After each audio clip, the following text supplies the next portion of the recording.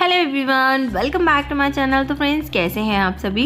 तो मैं आज आपके लिए लेके आई हूँ एक बहुत ही अच्छी साउथ इंडियन रेसिपी जो कि खाने में इतनी ज़्यादा टेस्टी है कि अगर आप इसे एक बार बनाओगे तो बार बार बना के खाना चाहोगे। इसका नाम है कर्ड राइस और ये बहुत ईजिली बन जाती है। इसे सिर्फ़ पाँच मिनट में बनाना है। तो स्टार्ट करते हैं। सबसे पहले हमें चाहिए यहाँ पर चावल। तो मैंने चावल यहाँ पर कुक ले लिए हैं, यानी कि पके हुए चावल यहाँ पे लिए हैं। तो आप इसे खुले बर्तन में पकाइए। चावल बहुत अच्छे पकते हैं। तो इन्हें साइड करते हैं। दूसरा इंग्रेडिएंट हमें यहाँ पे चाहिए दही। तो दही को आप अच्छे से फेंट लीजिएगा। ये एकदम चिकनी हो जाएगी, यानी कि स्मूथ हो जाएगी। पानी इसमें ऐड नहीं करना है।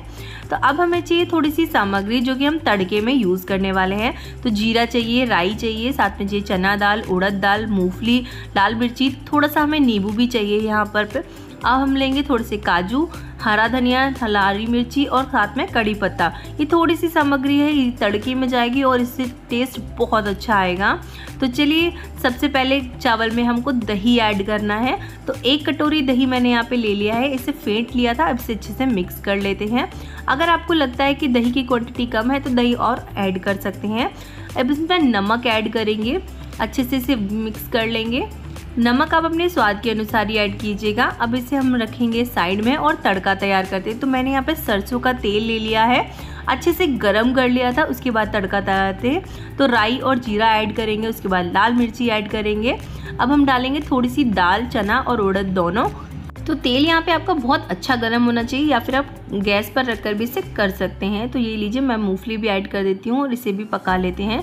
मेरा तेल बहुत ज़्यादा गर्म था तो अब हमने यहाँ पे कड़ी पत्ता ऐड कर दिया है, थोड़े से काजू ऐड कर दिए हैं, हरी मिर्ची भी ऐड कर दी है, सबको अच्छे से पका लीजिए, बहुत अच्छे से कुक हो जाएगा। अगर आपका तेल अच्छा गर्म होगा तो ये देखिए, सब कुछ अच्छे से कुक हो चुका है। अब हम तड़के को डाल देंगे चावलों के अंदर, यानी कि राइस के अंदर।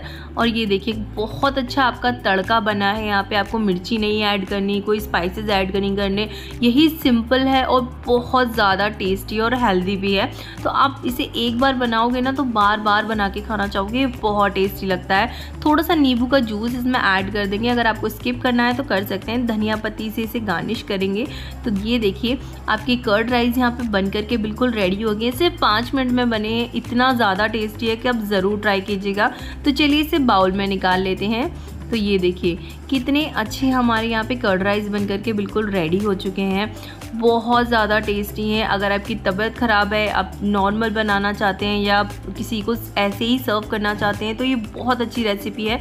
इसे ज़रूर ट्राई कीजिएगा। बनाइए, खाइए इन्जॉय कीजिए। वीडियो कैसे लगा कमेंट करके ज़रूर बताइएगा। अगर अभी तक चैनल को लाइक शेयर सब्सक्राइब नहीं किया है तो प्लीज़ कर लीजिए। वीडियो को देख लीजिए धन्यवाद।